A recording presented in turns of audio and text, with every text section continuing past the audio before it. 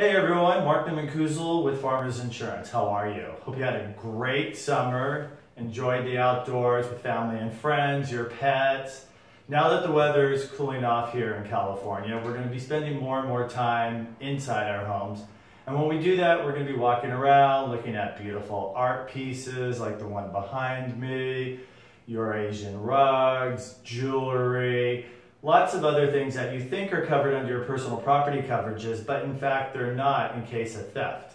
If you have a beautiful engagement ring you bought for your significant other, it is insured to certain limits in case of a peril, fire, flood, um, but not if it's stolen.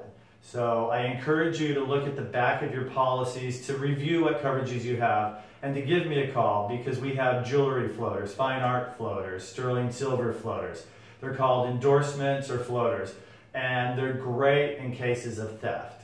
So please give me a shout at Mark Newman Kuzel, Farmers Insurance. Enjoy the upcoming autumn season, and I look forward to hearing from you very soon.